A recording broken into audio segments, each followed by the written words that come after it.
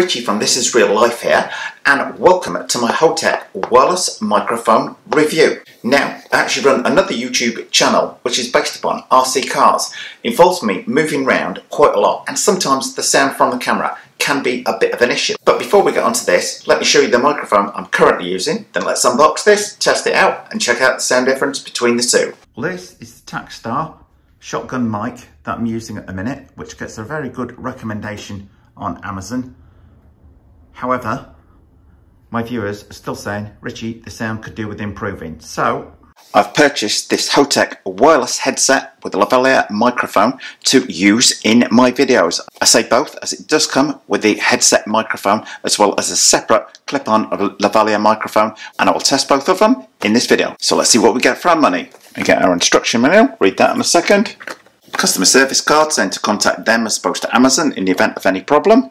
Our transmitter that clips on your belt there. Our receiver which plugs into the camera. Now I'm hoping they've provided an adapter for that. A clip-on lavalier microphone which is the one I shall be using in my RC car videos. A headset microphone which I'll also test in this video. A USB cable there for charging up both the transmitter and the receiver at the same time. And the mic setup comes with two adapter leads, one for your camera, which is the one I'll be using today, and one for plugging into your phone. So I'm going to set that one aside for the minute. The receiver simply plugs in there, and that's going to plug in the side of my camera where the existing mic goes. Okay, been reading the instructions, and this is very neat. I think we've got quite a treat in store for us. Now, these will last between 4 and 6 hours when fully charged, and they'll also work at up to 100 feet apart on here.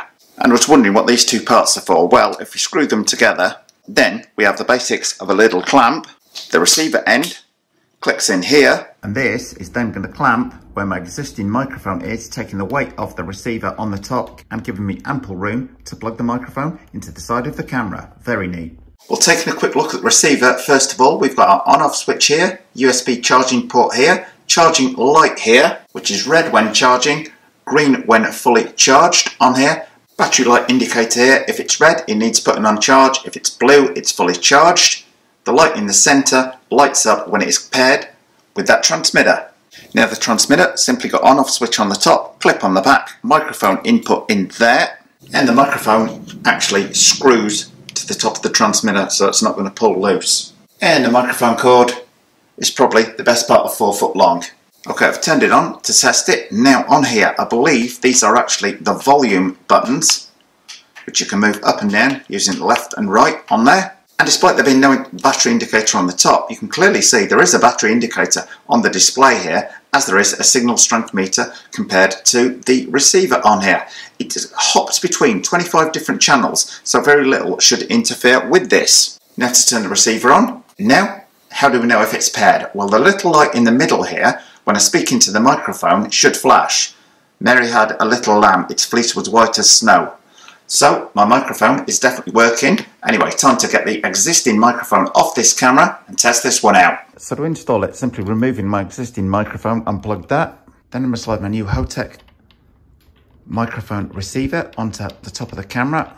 Spin that down, lock that in place, plug that in the side of my camera and we should be ready to go. Now you don't have to worry too much about the direction of this as obviously it's wireless. Okay, I'm still working on my existing microphone at the minute. The one thing I would say is this little tripod is actually designed to hold the transmitter separately from you should you so wish, but yours truly is going to clip it on the back of my belt. But the next thing you're going to hear is me talking on this wired into that camera. Well, first of all, I hope everyone can hear me well. It is very lightweight indeed. You're not really going to notice this, particularly if you're going to do like I'm going to do and clip it on behind you.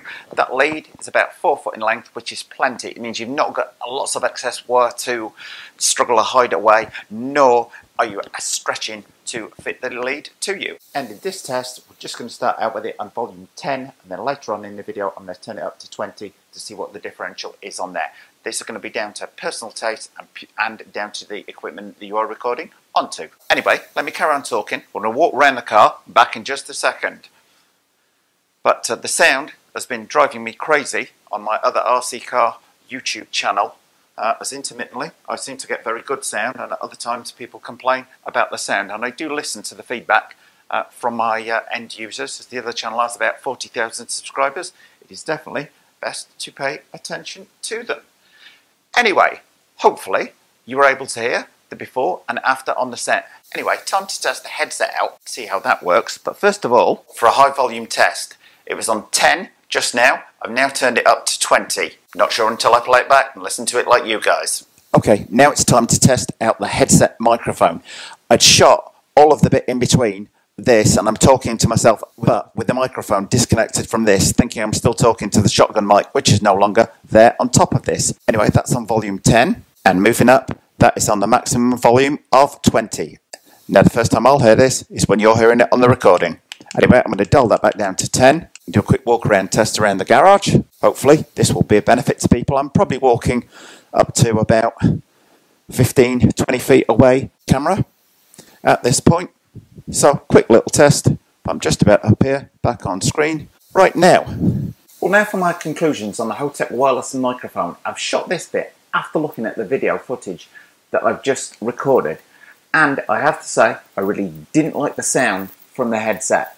It could almost pick up my breathing on there. It sounded very almost as though it was windy outside. Whether I would have helped if I moved it slightly further away from me, I'm not quite sure. But either on the low or the high volume, it still sounded like I was a bit talking in a muffled room on there with that wind noise coming through on the microphone. The volume mic is the one that I'm going to use because that is ideal for when I'm walking around and talking with my remote controlled cars. Very, very easy to set up the Hotec wireless transmitter with the receiver that's attached to the top of the camera that you're hearing from now. And as I say, up to 100 feet range. I'm not range tested it, but given the quality at 15, 20 feet away from the car, there seems no degradation in sound, certainly with moving short distances away from the camera. Anyway, I hope you liked today's review of the Hotec wireless microphone. If you did, then don't forget to like, share and subscribe. Well, thumbs up if you like this video, guys. Post any comments you might have in the comment section below the video and hit the circle below to subscribe. And if you do hit the circle, don't forget to hit the bell.